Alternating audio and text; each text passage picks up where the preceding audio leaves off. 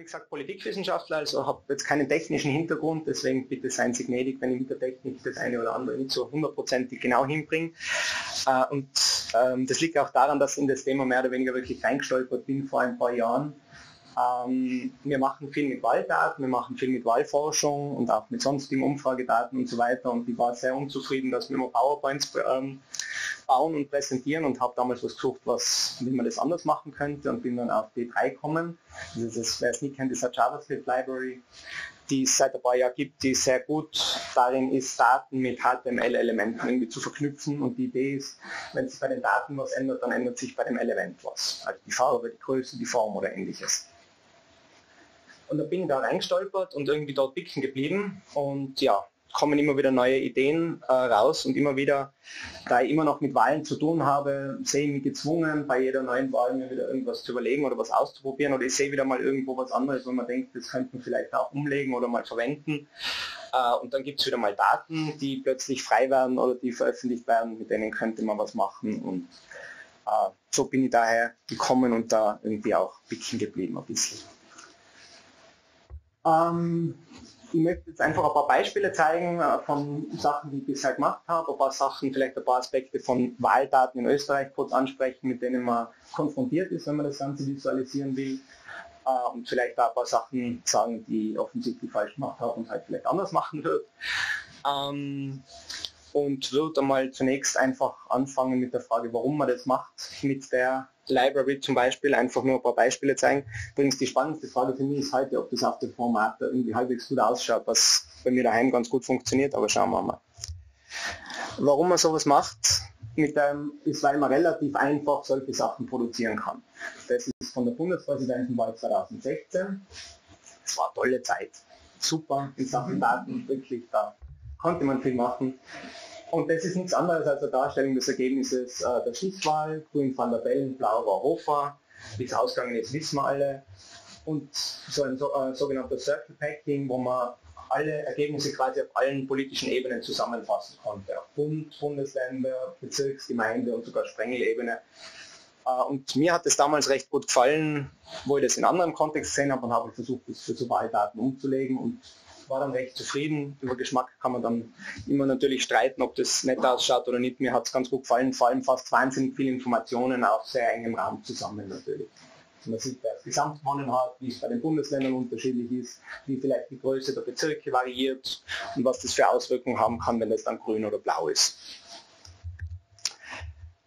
Anderes Beispiel, auch wieder eine Wahl, EU-Wahl 2019. Balkendiagramme an sich super, das Beste. Kann man ganz viel machen, aber man kann halt auch solche Sachen relativ einfach umsetzen. Das heißt, äh, wie gelernt habe, Sunburst Chart. Und das war der Versuch zu zeigen, die Fraktionen im Europäischen Parlament, die vielleicht nicht jedem so bekannt sind und so vertraut sind, wie setzen sie, die, sie, die, sie sich eigentlich zusammen, woher kommen die Abgeordneten dieser einzelnen Fraktionen. Ähm, Teil von unserer Arbeit in der Firma ist auch politische Bildung, daher kommt es auch. Zum Beispiel die Volkspartei hat man halt dann einfach hauptsächlich aus Deutschland gespeist gehabt damals oder die Sozialdemokraten aus Großbritannien und Spanien. Auch eine Sache, die man sicher auch mit anderen Tools machen kann. Persönlich weiß ich nur, wie es mit D3 geht. Letztes Beispiel noch, warum man sowas macht kann auch sowas sein, das war Wählerströme gibt es Senkdiagramme, aber Wählerströme könnte man auch so darstellen. Das war von der Nationalratswahl 2017 zur EU-Wahl 2019 der Versuch zu zeigen, wie diese Wählerinnen, die nicht bei ihrer Partei geblieben sind, einfach gewechselt sind. Und das sind so ein bisschen meine Motivationen, warum ich das Ganze mit T3 mache. Jetzt ist natürlich äh, eine Sache, politische Daten umzusetzen, weil es hübsch ausschaut oder weil einem das gefällt. Aber man kann natürlich auch überlegen, ob es ein bisschen einen tieferen Sinn hat, ohne jetzt ganz, ganz moralisch zu werden, aber vielleicht auch einen analytischen Sinn oder vielleicht kann man gewisse Sachen aufzeigen, damit die auch eine inhaltliche Aussage haben, jenseits von dem, dass es vielleicht auch noch ganz nett ausschaut. Das ist von der Nationalratswahl 2017. Und da muss ich ganz kurz ausholen. Bis 2017 war die Datenlage zu Wahldaten in Österreich relativ prekär, sagen wir es mal so. Heißt, das Innenministerium hat eigentlich nicht viel hergegeben, außer die Ergebnisdaten. Und damals, 2017, haben sie angefangen, mehr herzugeben, auch in anderen Formaten. Und unter anderem haben sie so eine Art Running Total hergeben, also den Auszählungsstand am Wahlabend. Das ist unglaublich langweilig, weil du einfach hochrechnen um 17 Uhr zum Wahlschluss macht und dann weiß man, wie es ausgegangen ist, auf plus minus 1, irgendwas Prozentpunkte und meistens sehr genau. Das heißt, das ist Running Total, also wie zählen die Gemeinden aus bis 17 Uhr, bis 18 Uhr, bis 19 Uhr und so weiter, ist nicht wirklich spannend, von dem her, wie es ausgeht. Aber was ganz interessant ist, ist sich anzuschauen, zu welchem Auszählungszeitpunkt es eigentlich wie ausgegangen wäre.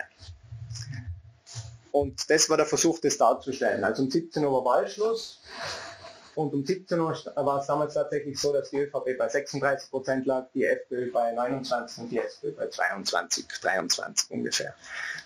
Ähm, und daran hat sich dann auch noch was geändert. Und warum hat sich da was geändert? Weil natürlich die da Gemeinden, die um 17 Uhr schon ausgezählt sind, vor allem eins gemeinsam, sind sehr klein. Und da wird schnell gezählt. Also überall gibt es ganz viele fleißige Menschen, die auszählen am Wahltag. Aber es geht natürlich schneller, wenn man nur 100 Stimmen auszuzählen hat, als wenn man 1000 Stimmen auszuzählen hat. Und im Verlauf des Abends entwickelt sich das dann. Und so in Halbstundenschritten war dieses Timestamp dann gesetzt. Und die Visualisierung war einfach der Versuch, das zu zeigen, wie sich das entwickelt hat. Dann kam eben mit Salzburg die erste Stadt, dann kommen die ersten Ergebnisse aus Graz und Wien, Klagenfurt, Linz, Innsbruck ist endlich da, man glaubt es nicht. Wien ist komplett und man sieht schon, es hat sich relativ viel geändert, oder? Also aus dem breiten Spread ist irgendwie ein kleinerer geworden, was vor allem für den zweiten und dritten Platz damals sehr relevant war. Und letzten Endes hatte man dann beim äh, vorläufigen Endergebnis inklusive Wahlkarten tatsächlich auch noch einmal diesen Dreher drinnen, dass die SPÖ auf Platz 2 war. Ähm, und das meine ich eben, dass man was darstellen kann, was vielleicht ganz nett ausschaut, was auch nett zum Anschauen ist, aber was auch ein bisschen äh, weitergeht und vielleicht auch was aussagt über politische Landschaft, über Wahlverhalten oder ähnliches. Seit der, spätestens seit der Bundespräsidentenwahl gibt es die Diskussion irgendwie dieser Stadt-Land-Kluft und zumindest mit dem Auszählungsgrad kann man es irgendwie skizzieren. Äh, eine meiner großen Schwächen ist, dass ich meistens nicht mit einer Grafik selber zufrieden bin, sondern immer mir vorstellen, muss da jetzt mindestens noch ein zweites, wenn nicht noch ein drittes Chart dazu tun. Äh, und auch so da. Also einmal ein Line-Chart und dann halt irgendwie gestapelte Balken und dann auch noch eine Landkarte, um das Ganze halt ein bisschen einordnbar zu machen. Ich denke, was eine ganz gute Sache ist bei Wahldaten, ist, man, wenn man versucht, eine gewisse Referenz herzustellen, einen Bezugspunkt, sei es geografisch, dass man weiß, wo geht man gerade um, oder sei es eben auch im Verhältnis zwischen Land und Stadt.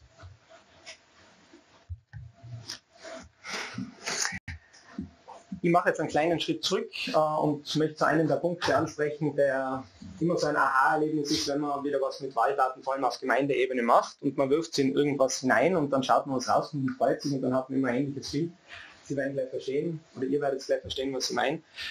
Ähm, das ist nämlich einfach ein Spezifikum von Österreich wenn ich als Politikwissenschaftler spreche, dann ist ein super Tool oder ein super Grafiktyp das Scatterplot oder Streudiagramm. Wo man irgendwie zwei Variable zusammenhängen kann und sagen kann, hängen die irgendwie zusammen, zumindest visuell irgendwie. Und ich habe das Beispiel jetzt gebracht mit dem Auszählungsgrad. Man könnte sich das auch äh, überlegen in so einem Scatterplot und sagen, okay, unten haben wir die Wahlberechtigten, also sehr kleine Gemeinden links, sehr große Gemeinden rechts, je nachdem, wo man jetzt sitzt und wie man drauf schaut. Und auf der Y-Achse den Stimmenanteil für eine Partei. Ich habe das ganz grob jetzt einmal für heute für in so einem Scatterplot irgendwie dargestellt. Und es schaut halt so aus. Und Sie stellen sich jetzt nicht vor, wie daheim vor meinem Bildschirm sitze, ich freue mich irgendwie keine Fehlermeldungen mehr und dann schaut es so aus. Und denke mir, ah ja genau, Wien war das wieder. Also das ist einfach ein Problem, unter Anführungszeichen, das man bei Wahldaten immer hat in Österreich, wenn man ab runtergeht von der Bundeslandebene auf Bezirk und dann vor allem auf Gemeindeebene. Wien ist halt einfach so groß und so anders als alle anderen Gemeinden in Österreich. Und das ist dann ein gewisses Problem für die Darstellung. Jetzt kann man natürlich sagen, wir tun Wien weg, und dann haben wir Graz. Also es macht es nicht viel besser. Tun wir Graz weg, ja, und dann haben wir Linz. Tun wir Linz weg, dann haben wir Salzburg, tun wir Salzburg weg, haben wir Innsbruck. Sie verstehen, worauf ich hinaus will, also es bleibt schwierig. Ich habe es mir jetzt noch angeschaut von der letzten Nationalratswahl. Wir haben ungefähr 2100 Gemeinden in Österreich. Schätzungen, wie viele von den Gemeinden mehr als 5000 Wahlberechtigte haben. 500. Es sind glaube ich 172. Also ganz, ganz viele Gemeinden sind klein und sehr klein. Und das macht sowas dann natürlich schwierig. Wie man damit umgehen kann, ist auch nichts, was ich immer ausgedacht habe. Aber was ganz gut immer funktioniert, ist so halt eine nicht lineare Skala. Also das ist ein ähnliches Scatterplot wie vorher, da halt mit dem Stimmenanteil für Van der Bellen damals und der Zahl der Wahlberechtigten wieder. Aber das ist nicht mehr linear, weil Sie sehen, da sind wir bei 500 und da sind wir bei einer Million. Das verzerrt das Ganze. Macht aber sehr viel deutlicher nachvollziehbar und zeigt irgendwie auch den Zusammenhang vielleicht. Kann man sich vorstellen, dass da irgendwie gerade irgendwie ganz gut durchpasst. Das war auch wieder was zur Bundespräsidentenwahl 2016. Das war, wie gesagt, eine sehr gute Zeit. Äh, und ist etwas, was man in Wahldaten, denke ich, auch ganz gut machen kann, vor allem im Webbrowser, weil man einfach Interaktivität hat. Das heißt, man muss sich nicht unbedingt darauf beschränken, irgendwas Statisches darzustellen, sondern man kann was Interaktives machen und man kann Leuten die Möglichkeit geben, wenn ich sage Leuten, dann meine ich hauptsächlich einmal nie, weil ich es oft auch in meine Arbeit brauche und Sachen nachschlagen möchte. Man kann Leuten Möglichkeiten geben, so ein bisschen zu interagieren mit dem Ganzen. Und das war der Versuch damals, durch die Kombination von drei Elementen eigentlich, von einem Scatterplot, von einer Landkarte und von einer Liste, die jetzt vielleicht grafisch nicht so viel hermacht, aber vielleicht ganz praktisch auch zum Nachschlagen ist. Und die Idee war einfach, das Scatterplot gibt mir irgendwie ein gutes Overall-Picture irgendwie, wie es so ausschaut. Aber ich habe dann immer irgendwelche Ausreißer und dann will ich eigentlich wissen, was ist das da für ein Ausreißer. Dann kann ich schauen, das war Kaunertal. Tiroler im Raum, perfekt. Alle anderen werden mit Kaunertal vielleicht vor der Bundespräsidentenwahl noch nicht so viel anfangen können haben oder auch doch, ich möchte Ihnen was unterstellen. Aber dann kann man sich halt anschauen, okay, Kaunertal liegt halt da. Und dann kann man sich auch noch anschauen, okay, Kaunertal liegt da. Das war gereiht nach der Zahl der Wahlberechtigten damals die 1957 größte oder auch kleinste Gemeinde. Und was ich mit Interaktivität meine, ist, man kann die Möglichkeit schaffen, dass man ein bisschen mit den Daten spielt und ein bisschen genauer hineinschaut. Zum Beispiel sich eben dann das Ganze nach dem Ergebnis von Van der Bellen da anzuschauen. Dann haben wir es so, aber nehmen wir zum Beispiel einmal erster Wahlgang und Van der Bellen, dann sieht man, dass das halt damals auch schon der Fall war, dass Karneval auch da schon sehr weit vorne war. Und wenn man da ein bisschen spielt, dann sieht man zum Beispiel, dass äh, es da, wenn ich es triff, Spiss gibt. Und Spiss ist echt in der Nähe vom Kaunertal. Und Spiss war echt eine extrem schlechte Gemeinde für Van der Bellen. Also ich möchte mir nicht vorstellen, was da passiert ist zwischen, zwischen den geografisch sehr nahen, aber durch die Berge natürlich auch getrennten Gebieten. Also, worauf will ich hinaus? Man kann damit einfach spielen und Leuten die Möglichkeit geben, äh, ein bisschen das auszufinden das den Leuten die Möglichkeit geben, da was rauszufinden, heißt natürlich auch, dass man selber ein bisschen faul ist, nämlich das bin ich auch, indem man nämlich nicht viel erklären will, was dann da jetzt eigentlich alles wichtig ist und welche Gemeinden genau man jetzt beschreiben soll, also die Beschriftungen sich einfach sparen. Das ist sicher eine meiner großen Schwächen auch, dass alles, was ich mache, die Beschriftungen kommen ganz am Schluss und die sind meistens viel zu mühsam oder sie sind einfach technisch oft einmal ein bisschen schwierig, weil sie sollen ja gut ausschauen und gut platziert sein, sie sollen inhaltlich Sinn machen, es braucht einfach Zeit. Und alles braucht Zeit und jedes Detail braucht Zeit und Zeit ist das, was wir nicht wirklich haben. Dabei machen Beschriftungen so vieles so viel besser. Anderes Beispiel, ähm, das ist sowas halbinternes, was bei uns mitläuft, das ist einfach ein Sammlung von veröffentlichten Umfragedaten, die Sonntagsfrage, mittlerweile seit 2006. Neuwahl macht es super und besser mittlerweile alles, aber ich habe es trotzdem immer noch aktualisiert, weil es ganz praktisch ist, eben wie gesagt.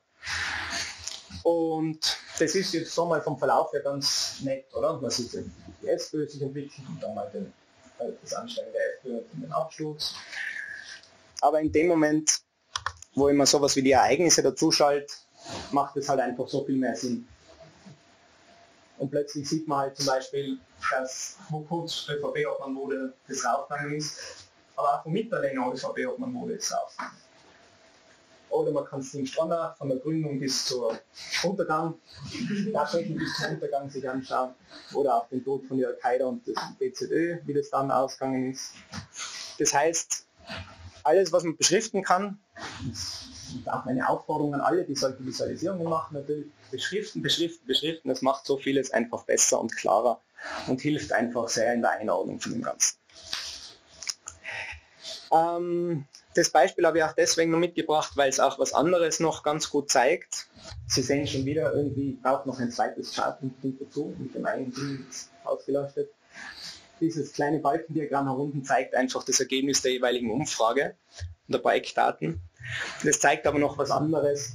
Und das ist auch etwas, was glaube ich recht gut ist, wenn man versucht zu inkludieren mit diesen kleinen Linien, das sind Referenzpunkte. Und die Referenzpunkte, ja, vielleicht anders ausgedrückt, ist es jetzt eine gute Umfrage oder ist es eine schlechte Umfrage für Partei? Der Zeitverlauf zeigt es an, aber eigentlich die harte Währung, die relevant ist für die Parteien, sind die Wahlergebnisse. Und damit wäre jetzt zum Beispiel momentan der Referenzpunkt die Nationalratswahl 2019. Und wenn man sich anschaut, wie es so nach der Wahl ausschaut, so die letzten Umfragen, dann sieht man, dass die ÖVP in dem Bereich ungefähr bleibt. Für die SPÖ schaut es nicht so gut aus. FPÖ, NEOS und ist okay, hat sie nicht so viel getan und Grüne schaut ganz gut aus. Aber man kann sich als den Referenzpunkt auch dann an dem sich orientieren und sich anschauen, wie es zum Beispiel vor 2006 ausgeschaut hat. Und dann sieht man, dass damals die ÖVP genauso in diesem Bereich schon war. Also ich will sagen, nicht so Repeats, aber es ist durchaus so, dass sich gewisse Sachen wiederfinden. Für die SPÖ hat es damals ein bisschen besser ausgeschaut. Ein Thema für einen ganz eigenen Abend ist natürlich schwankungsbreite Ungenauigkeiten. Wäre super, wenn man da viel mehr dazu machen täte. Ähm, ja, das war damals so versucht, irgendwie ein bisschen zu umreißen, ganz grob. Da sieht man dann, dass ein großes Kuddelmuddel ist und das wird undeutlich und die sind, ich denke, dass es äh, visuell genau das Richtige ist, wenn es undeutlich wird und der Kuddelmuddel, dass man irgendwie vermitteln kann, es ist einfach ein Kuddelmuddel und man weiß nicht, was da wirklich dabei rauskommt. Gut. Jetzt zeige ich Ihnen noch was anderes, eine weitere Möglichkeit, wenn man irgendwie mit so Beschriftungen äh, so faul ist wie ich, was man auch machen kann, ist, man kann äh, sowas wie einen Step oder ein Scrolly machen, also eine Folge, eine Abfolge von verschiedenen Grafiken und Visualisierungen. Das zwingt einen dann dazu, zu jeder irgendwie eine Kleinigkeit zu schreiben und man kann aber einzelne Elemente sehr gut rausholen und dann auch beschreiben und zeigen, äh, was aus zumindest der ganz subjektiven Sicht jetzt da relevant ist. Ähm, für die Tiroler im Raum, das ist für, von der Landtagswahl oder für die Landtagswahl in Tirol 2018 gewesen, eine Aufstellung einfach einmal der Wahlen und der Wahlergebnisse und dann eine Aufarbeitung des Ganzen. Und ich gehe das jetzt schnell durch und sage so ein paar Punkte, die, wo man mittlerweile denkt, das war nicht so geschickt vielleicht oder wo man andererseits denkt, das ist vielleicht gar keine so blöde Idee gewesen. Ähm, womit ich meistens anfange, ist wirklich eine historische Aufarbeitung, wiederum um so einen Referenzpunkt zu geben. Also ist etwas viel, ist etwas wenig. Ich daran, dass ich wie vor Jahren angefangen habe, die Wahldatenbank aufzubauen und äh, mittlerweile ganz guten Zugriff auf diese Wahldaten habe. Und das ist relativ leicht zum Ausspielen dann auch. Und normalerweise hätte ich gesagt, äh, da müsste man eigentlich ein Liniendiagramm machen und damals muss ich offensichtlich ein Problem gehabt haben, persönlicher Natur, warum ich kein Liniendiagramm gemacht habe. Und die mir eingebildet habe, ich muss so Small Multiples machen, oder? Also irgendwie so viele kleine Elemente, die die einzelnen Wahlen zeigen. Und das ist eigentlich ziemlich schwierig nachzuvollziehen, wie sie jetzt die ÖVP entwickelt. Ist schon klar, irgendwie da ist mehr als da, aber genau der Unterschied ist es irgendwie schwierig. Und ein Grund, warum ich das gemacht habe, wird man dann gleich sehen. Ein anderer Grund war, ich wollte halt einfach die Ergebnisse einzelner Wahlen so besser darstellen und leichter vergleichbar machen. Damals haben wir gedacht, das wäre geschickt, ich mache bei jeder Wahl ein Plus und ein Minus von zum Beispiel dazu. Und das heißt dann, die Partei hat von der letzten Wahl gewonnen oder verloren. Ich glaube nicht, dass das irgendjemand verstanden hat, außer mir. Und ich finde auch mittlerweile, dass das keine gute Idee war. Aber ja, war halt der Versuch damals. Ähm, ja, und dann kann man versuchen, so einzelne Punkte rauszuholen. Wie gesagt, Beschriftungen. Dank Stack Overflow habe ich damals so auf handgezeichnete Kreise irgendwie zum Laufen gebracht, was irgendwie als Kontrast mir ganz gut gepasst hat dazu.